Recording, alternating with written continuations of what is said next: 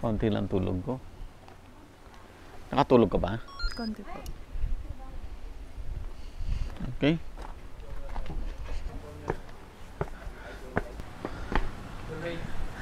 Ito ano daw to? Ito yung juice version ng tea version na pinainom. Ah, yung kanina. Oo. Yung juice version.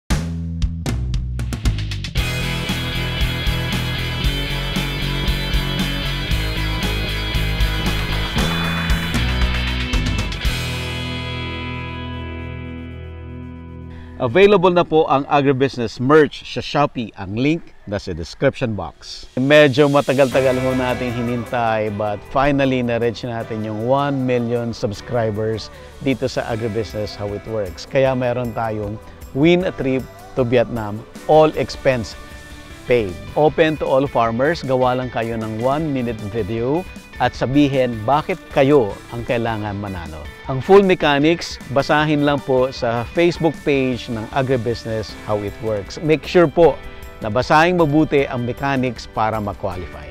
Pwede na kayong mag-post ng entry ninyo. Ang contest ay hanggang January 5, 2024.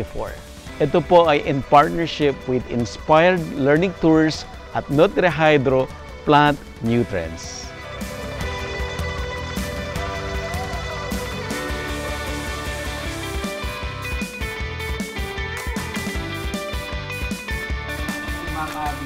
You. Hello po. Ako ko pag may problema ako sa mga tao.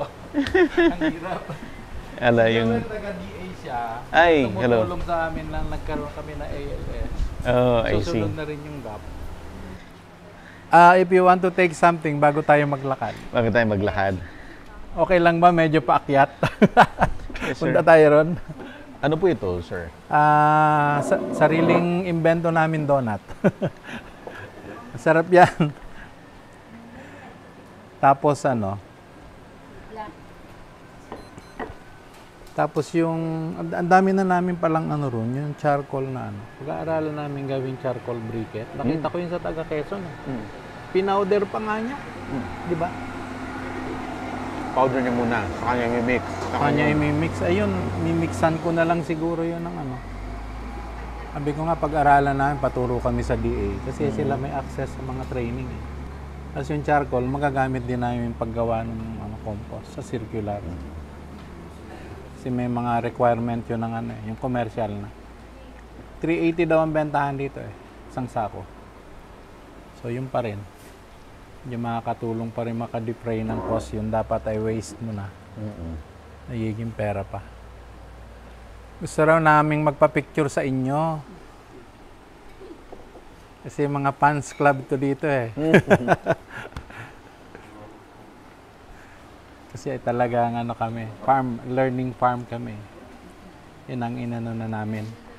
Yun ang inadapt na namin na framework ng lahat ng gagawin namin. Dapat makapagturo tayo.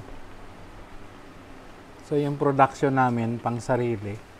Kasi sa negosyo, dalawa lang naman, di ba? You add revenue or you minimize expense. So ma-minimize namin expense of food. Tapos healthy pa yung mga tao. Dahil yun nga, tinatry namin na natural lahat. So from tilapia to manok to baboy, we're trying to go as natural as possible. Pa-picture tayo dito oh, para yun ang view natin. Pwede? Ah, naririnig mo yan sa gabi. Kaya kung doon ka nakatira, doon sa mini A house na yan. Yan ang river mo. Tapos, ito ilalim na to, may sapa. After rainy season ngayon, daming napupulot dyan yung suso. Mm. Ginagataan namin yun eh. sa gabi. Yung mahaba. Oo, yung mahaba. Mahabang suso. Ito, vertical yan eh. Bangin na Ah, siya. Oo. Vertical. Pag nandun ka sa may ilog, yun yung swimming area eh. Yan ang dinadayo Kita mo, talaga. ganun talaga siya. Oo, yun dinadayo talaga sa amin. Yung swimming area na yun. Wala, sir. Sa municipal or sa provincial? Provincial. Kikita ko na sa mga vlog mo, nakasama rin nila yung mga taga-DA yan. Ah. Sa iba mong vlog. Dalawa na ako. Tama na. How Masarap. old si Sofia? How old? She's 20. Three. 3. Grabe cancer. Wow. Anong natapos niya? Advertising. Buti sinasamahan mo Ay, tayo. yes. Siya ang right hand ng tatay niya. Siyempre, daughter eh. Pagka anak mo lalaki, naku. Sarili mundo. Sarili. Pero siguro, ewan ko. Ito sa mga pinakamagandang view gusto ko eh. Makikita mo rito yung bend ng river, yung mountain. Ang ganda nito pag umaga. Ang plano namin dito, yung coffee house, pero nagko-concentrate kami sa kokwa, chocolate. Kasi yan, yung mga na-steak na yan, mga kakao na yan eh. Ah, ma- ah, nakatanim na kayo. Kaya tinitingnan ko yung mga vlog mo sa kakao eh. May magaling na, may magaling ako na na feature na kakao. Sa Batangas, Ah, hindi ko yata nakita yon. yung dalawang consultant na yung nagpapatakbo, na may mga edad na rin sila. Ah. Ah, parang nakita ko pero by, parang bypassing lang. Nakita ko yung sa Bicol, yung sa Mindanao. Sa Bicol, maganda Oo. rin. Kay Sir Gruber, maganda. Sabi ko ito. Pero 1,600 lang naman to eh. Mm. Lahat ng tinanim namin. Tapos ito, ginawa namin kasi yung iba gusto nila yung pandalawahan lang, Mm-mm. tatluhan. Hindi sabi ko gawa tayo ron. May lupa pa naman. So katatapos lang din to eh. Ito smaller dun sa tinitirhan nyo. Pero malaki rin, sir. Ha? Ha? Malaki rin. Oh. Ah, ganda. So ganito lang ang ano niya. Toilet and bath. Tapos ito, Oo. sa umaga before the sunrise, spectacular ang view nito. Yan. Papat, ito yung pumatay na view. Oo, di ba? Tapos kitang-kita yung liguan, yung naliguan. Ah, okay. Yung sinasabi niyo na ano, sikat na Oo, palibuan. iconic yung bato na yan. Every summer, Holy Week, tinitrack yan ng mga kabataan. Kasi dito na lang may tubig. Pag summer. Mm. Pag sinundan mo yung ilog na yan, hanggang doon na yan, sa boundary ng Tarlac.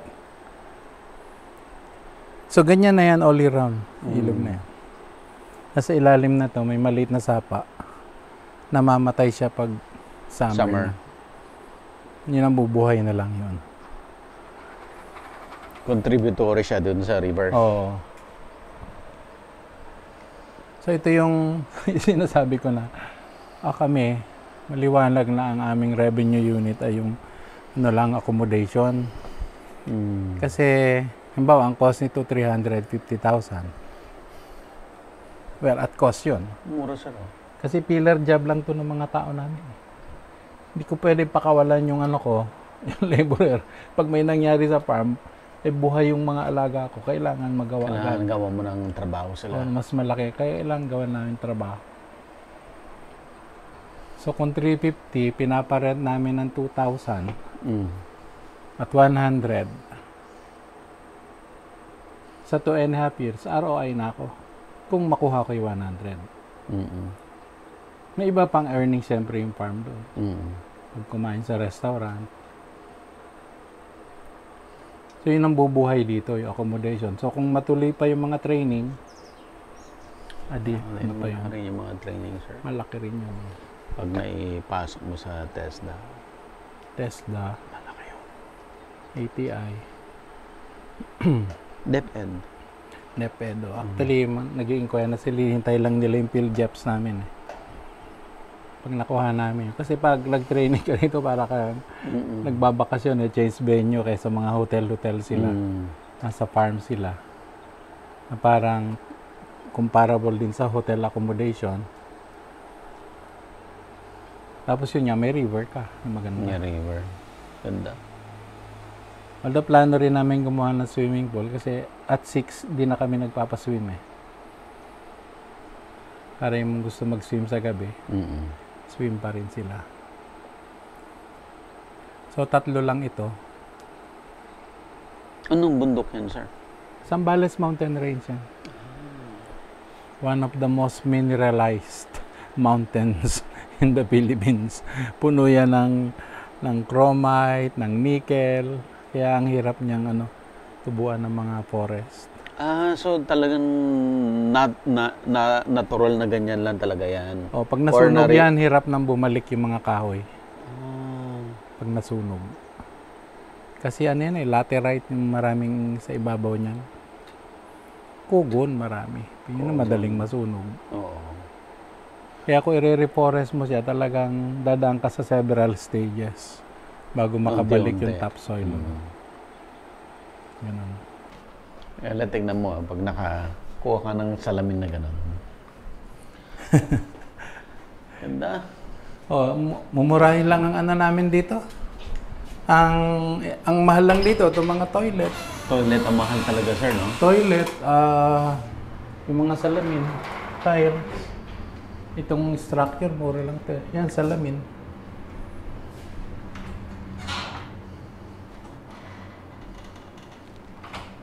So far, masaya naman yung mga natulog dito. Hindi ba kayo natakot? Hindi naman daw. Tapos nakikita nila may dumadapong ibon sa umaga.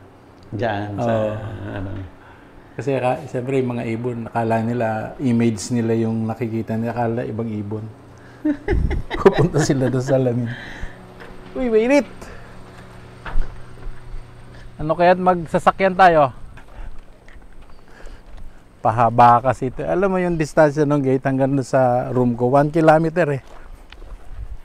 Kaya medyo mahaba, pahaba siya. Ang view mo sa umaga, pagising mo sa yan, yung vineyard. Yung vineyard. Sila, pagising nila yan. view nila. Marami ka pang pwedeng ipagawa, sir, ano?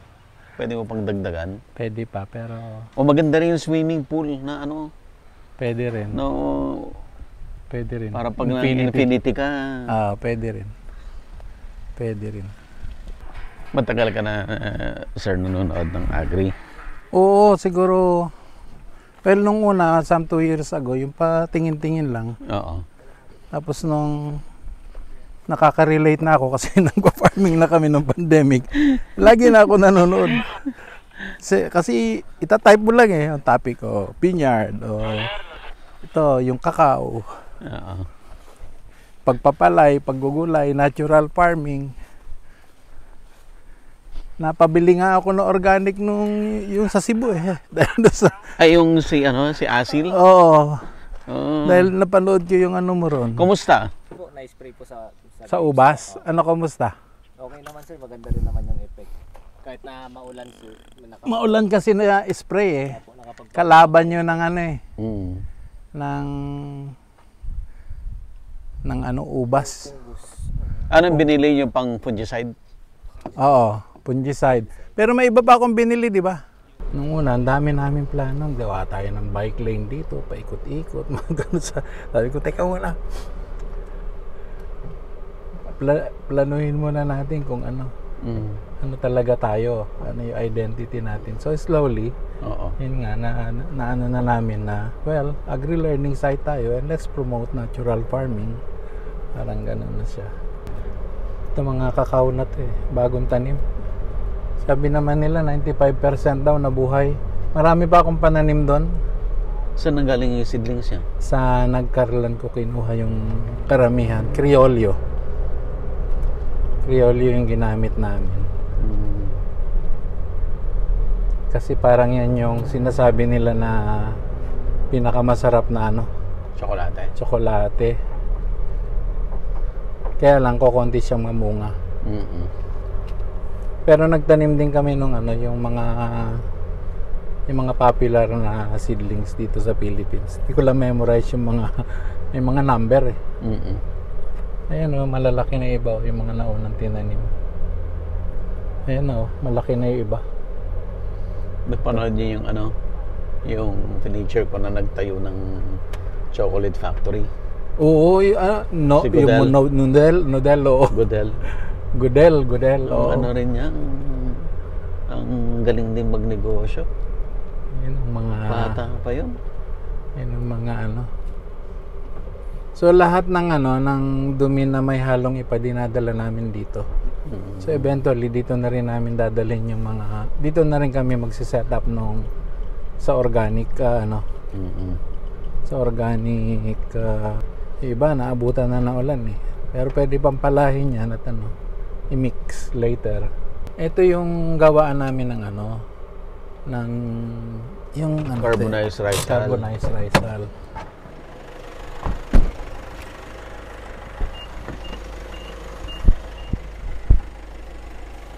So kung mapapansin mo, may mga dumi-dumi ng manok na nakahalo. Mm-mm. Jeric, patingin nga ng ano, yung carbon niya. Alam mo yung tumutulong yan? Yan yung liquid smoke. Oo, ito na yan. Oo, yan, iniipon namin. Yan na ba yon? Yung wood vinegar. Oh, yung wood vinegar. Dami na namin na harvest dyan. Pinangi-spray din namin doon sa ano, sa mga gulay. Ito oh, di ba pwedeng gamitin tong ano, ah, charcoal briquette pagka inano mo siya, lagyan ng binder. Kasi charcoal pa lang naman siya eh. Siya oh.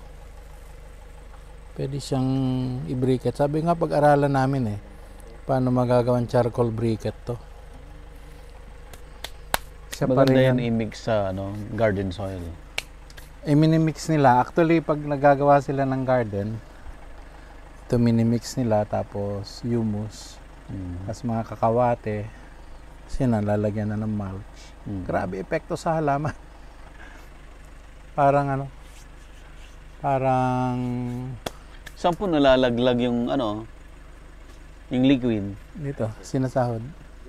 Sinasahod din dito kung saan saan nalalaglag kasi hindi maganda yung pagkaano nila eh. Ayun no, nalalaglag din doon. Sinasahod nila. So everyday nakakagawa sila ng ilan? Alay, pakita mo yung mga ano. 10 bags po. Agurin mo yung mga Ha? 10 bags na carbonized rice sal po. 10 bags araw-araw. 10 bags sa araw-araw. So bali 40 yan. Ngayon pa lang naman din kami nagsisimula kasi maulan ng mga nakaraan. So kung 10 bags, ah, marami pala tayong mabebenta. Sir Joel. Yes, sir. 40 araw-araw times 200. Magkano ang bentahan yan? Sa sako? 150 po. 150 Yes po. times Per- Per sacks. Per sack. So ilan ilang sako magagawa maghapon? 1.5 po. Ha? 1,500 pesos kung ibebenta natin 10 sacks. Every day. Every day.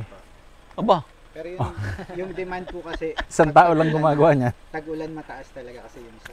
pero pwedeng i-stock. Opo, Pwede. Yung kagandahan. Pwede. Kaya gagawa kami ng maliit na building dito para dun sa paggawa ng compost. Mm-mm. Saka bodega na rin ng ito. Kita ko yung sa ano mo nga sa in-interview. Grabe yun, no? Thousands of bags ng compost. Yung iba nabibenta pa niya. Oo. Grabe. Ay ko yan ang negosyo. Pero ito sa atin kasi minamanage natin yung waste natin eh. Oo. Para, Waste management lang daw. Oh, saka carbon sequestration if you talk of natural farming. Oo. Carbon sequestration kasi hindi nababalik sa atmosphere yan. Eh. Sir, nag ano, yung umattend ako nung rice convention Oo. ng Erie. Ang dami pitong pitong kumpanya yung nag exhibit na ay, yung bumibili ng ano exchange dun sa Ah, yung carbon credit? Talaga?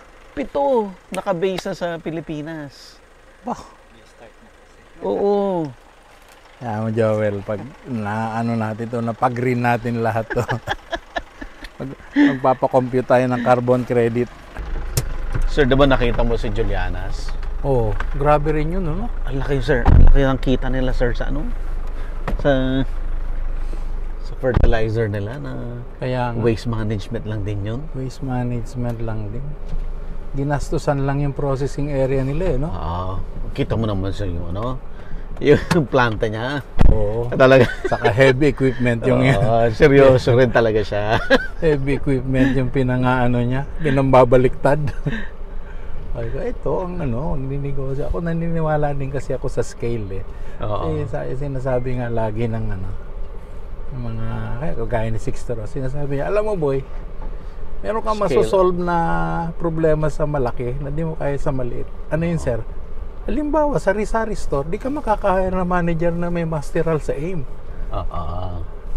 Pero magtayo ka ng ano, yung malaking Super- grocery, ah, o grocery. supermarket, makaka-hire ka. Kasi ma-afford mo siya because of your scale. Scale up talaga. Scale up talaga. Yun yung pinag-aaralan ko. Paano ko scale up tong vlogging, ha? Tong agribusiness. Eh, malaki ka na eh. Actually, nasa scale ka na nga eh. Ibang platform, hindi mo siya tatry na ibang platform. Ah, meron akong Facebook. Facebook. Ah, ano rin, nasa uh, million din. Oh, wow.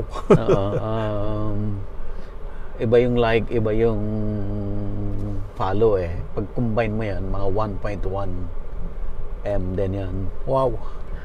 Tapos, nag nagtatry, nag-open sila ng TikTok pero i-grow pa yan. Iba kasi yung market. Ibang market Ibang ng TikTok market eh. kasi yan. May guest kami rito na nagti-TikTok, naka 1 million siya. Pin- Pinakita lang niya yung ilog. Naka 1 million views siya. Oo. Pinakita lang niya yung ilog. Ay, galing naman ito kako. Tapos from there, dadalhin namin yan liquid smoke doon sa sa ano sa mga doon sa mga poultry buildings pangtaboy ng langaw. ng langaw. Sabi nung nagkaibigan ko na gumagawa din yan, pwede rin daw sa daga. Kalaban namin daga eh. Ah, Tatapangan lang yung ano, yung pagmix. Tapos, yung langaw, ano siya.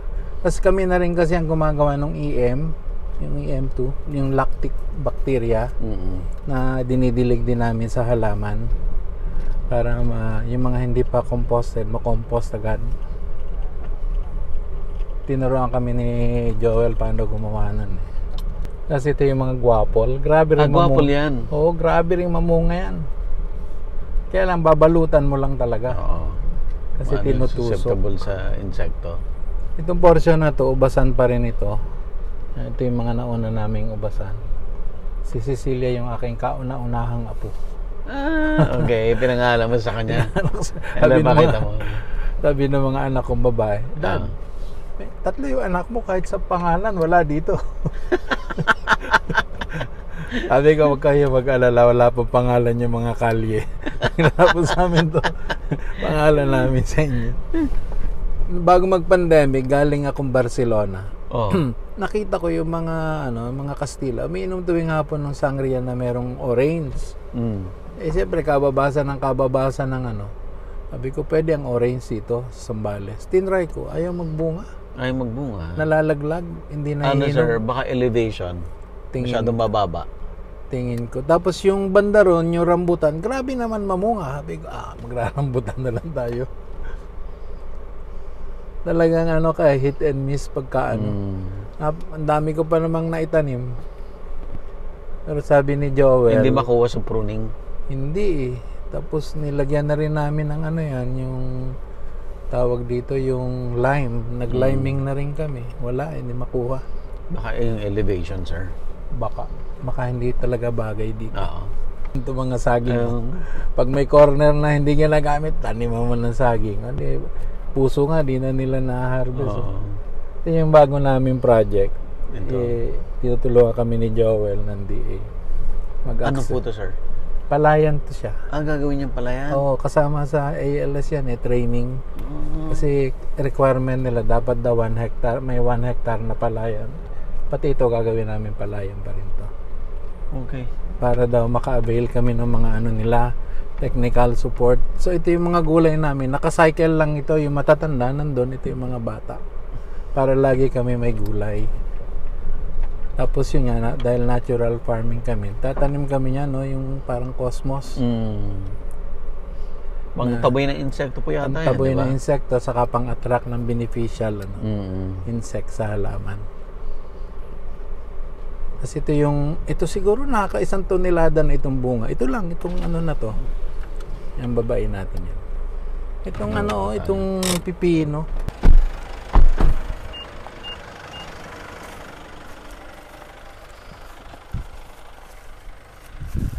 Ilang months na to, sir? 45 days pa lang ito, Joey, ah, Jeric. Itong pipino nyo, gano'n nakatagal to? Dami yung bunga. Oh. Dami pa rin bunga. Ito yung kinain natin kanina. Oo. Naka isang tonelada na ba kayo dito? Siguro, nag-reach na rin tayong harvest din. Hindi, yung last report nyo, 500 kilos na eh. Ah, yung puti. Yung puti, puti, no? oo. Yung puti. Yung tinikman natin sa restaurant. Oo, sarap. Ang dami pa rin bunga oh. Opo. Diretso, diretso yung bunga. Ang palaya hindi masyado maganda eh. Hindi, hindi kagaya dun sa pinifeature mo sa Pampanga. Mm. Grabe yun. Grabe, ang galing nun. Dun sa May Florida. palaya din kami ron. Pero binabalutan namin ng plastic. So ito, nakacycle lang ito para mainly sa need namin. Pag sumusobra, halimbawa to, pinamimigay or binibenta. Pag sobra lang. Otherwise, pang consumption lang namin. Ito lang, sobra-sobra na sa amin to eh. Mm. Yan yung matatandang talong, maliliit na ang bunga. Saka Ito sitaw bago. Ito yung bago sitaw. Ganda oh. Yan, pang consumption lang din namin. Ganda. Ay, ganun mo. Yun yung Ganda. luma. Linis.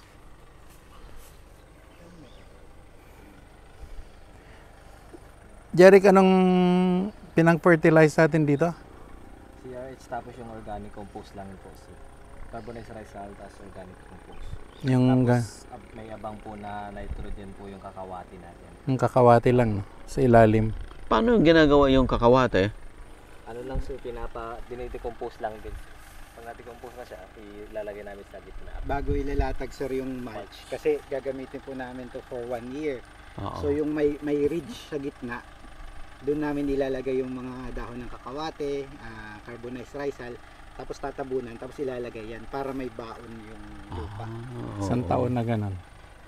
Tapos meron din kaming ano ron, yung vermiculture no? pero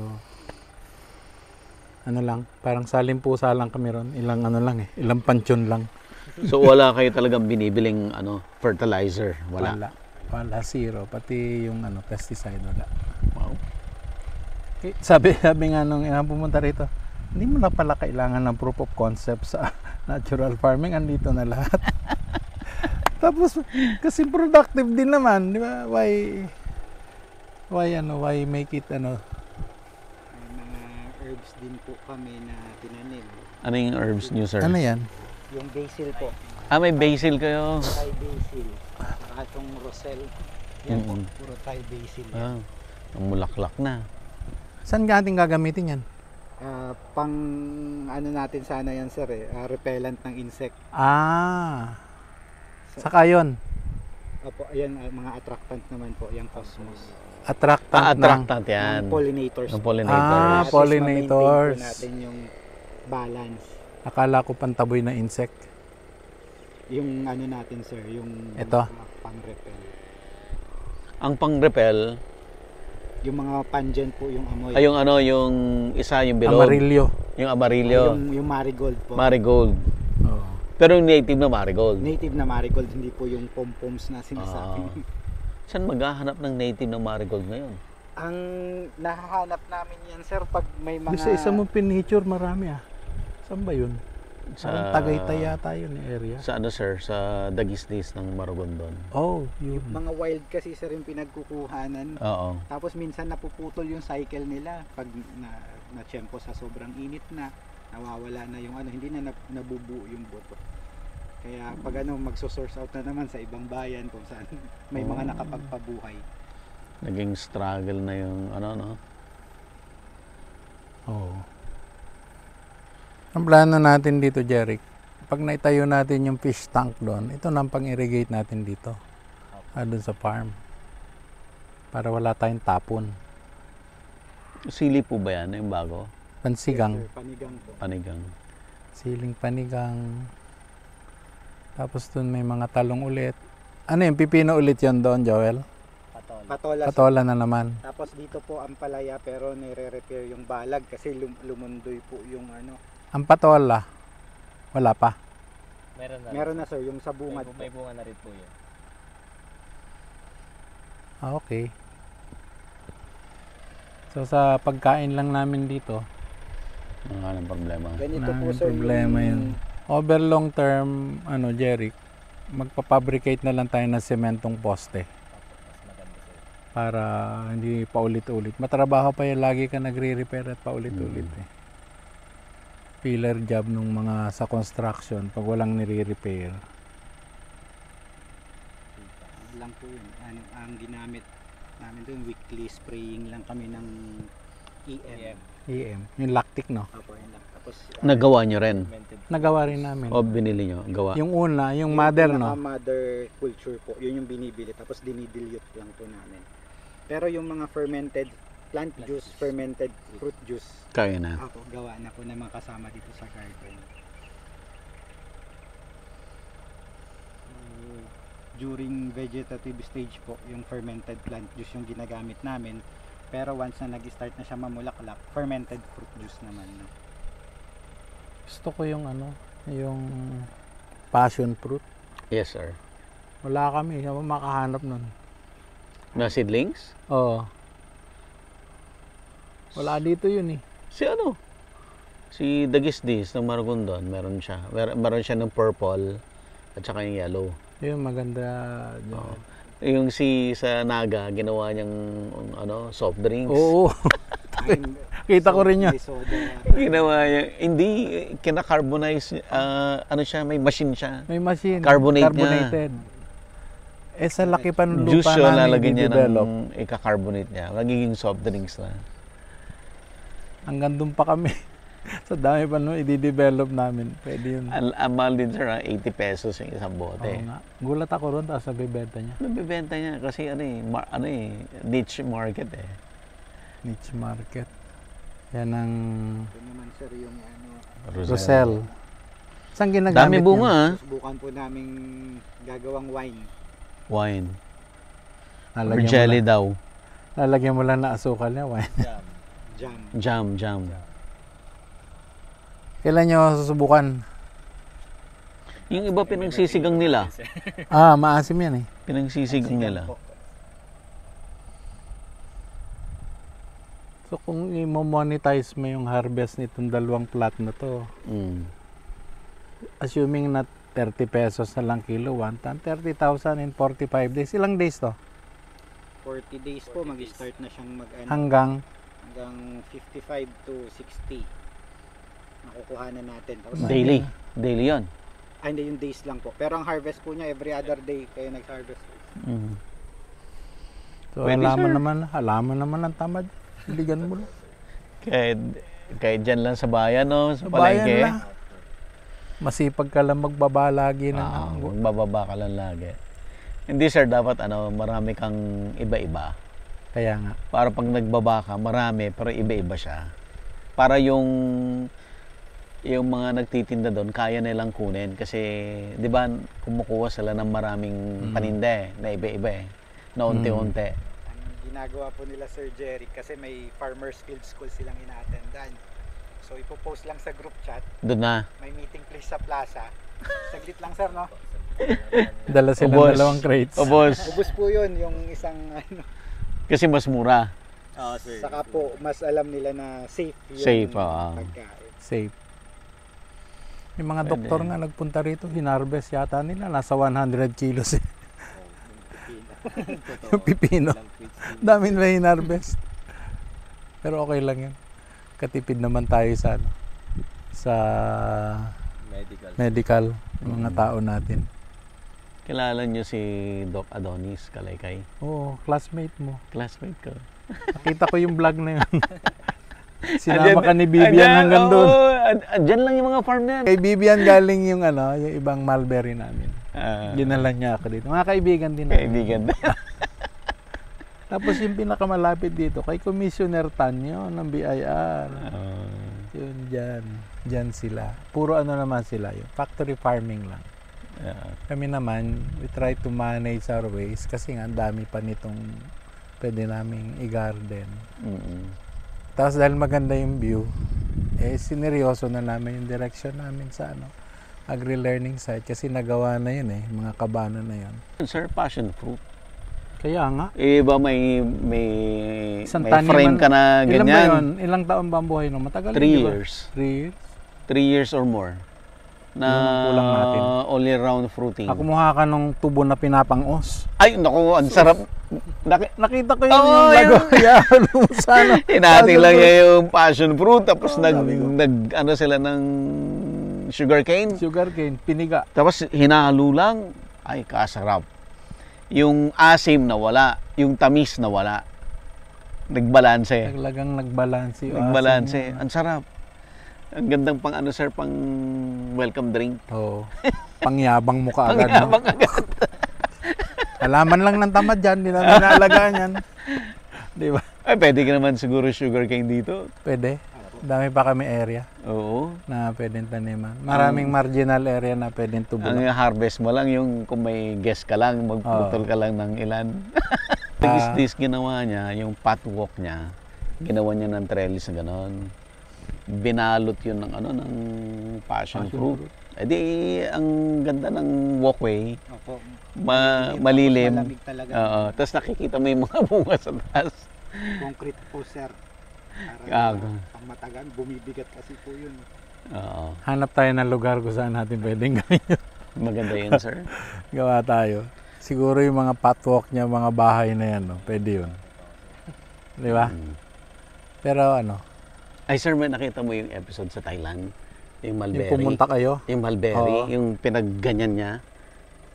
parang hindi ko nakita. Pero nakita ko nung pumunta kayo. Ang dami yung pinuntahan kasi. Ah, ang ganda sir, di linya, Oo. linya-linya. Yung linya niya, parang square-square. Hmm. Parang square-square siya. So yung isang mulberry, nag-ano siya ng apat na main branch. Pag ganyan, pag ganon, sasalubong naman yung isa. Pinagdugtong. Niya yon, tinali niya yon, di nag, naging ganyan na. Pag nandun ka sa loob, para siyang, ganun talaga sir. Ay, kaganda. Ang ganda, sir. Pag nandun ka sa loob, di sobrang lilim. Kasi ang ang ano niya, ang principle na sinasabi niya, yung nakaganyan Oo. para madaling para hindi mataas i-harvest. Oo. So yung sanga dito nakaganon yung sanga. Na. Ah, tapos yun, yun lang din ang ipuprune niya. Di magsasanga na naman. Na ang dali lang niya nga harvest. po yun, doon lalabas yung bunga eh. Mm. Madali nang abutin. Pero pag nandun ka sa, tas ginawa niya, no, di maluwang po yan, no? maluwang. Naggawa siya ng platform. Pag nasa platform ka, tanaw mo, puro green lang. Hindi mo makikita na sa loob. Ganon. Green lang lahat nakikita mo. Hanap tayo nun ang gagawa natin. Ang ganda nun, sir. Hanap tayo pag gagawa natin dito. Nasa lang likod sa ng ano, sa likod ng A-houses yan, may footpath akong pinapagawa dyan eh. Merong isang subscriber, eh, biglang na-meet ko somewhere, eh, biglang sabi niya, ginaya ko na yung nakita ko sa Thailand. Ganun na daw. Marami talaga mapupulot na ideas. Ang Gagaling ng mga tayo, no? Pagkagaling ko dun, so, wala, one month ago, galing ako dun. Ang mura, ang mura no si Chili Flakes sila. Meron na puntahan kami na durian farm. O dami rin durian, di ba? Grabe. Ang Ayun, yaman- nakita ko yun. Ang yaman Nakita naman ko siguro. episode na yun. Na, ang yaman Talagang siguro may ari nun, sir. Oo, May highway sa loob. lake, lake eh. Gawa siya ng mga lake. Yun yung nakita ko. Ang irrigate niya. Talagang dinadayo ng turista. Oo. Agritourism talaga. agritourism talaga. Oo, oh, pero durian. Tapos may cafe siya na maganda. Tapos sinaserve niya pizza na durian. Yun, nakita ko yung episode. Yun. Sabi ko, hindi, hindi ko na yan. Hindi, maganda rin naman sir, magagandang farm sa Pilipinas. Ang problema, yung magagandang farm sa Pilipinas, masyadong masekreto yung may-ari. Ayaw. Bakit? Ayaw na i-expose. di ba sir? Totoo, di ba? Dami magagandang farm eh. Puro private. Ayaw po Ayaw magpapasok. Tingnan mo yung ano ko, rambutan. Eh, rambutan yan, no? Lapitan Ay, natin sir. three years pa lang yan. Namumunga na. Oo, namunga na yan. Available na po ang agribusiness merch sa Shopee. Ang link nasa description box. Agribusiness how it works. Instruct, inspire, succeed.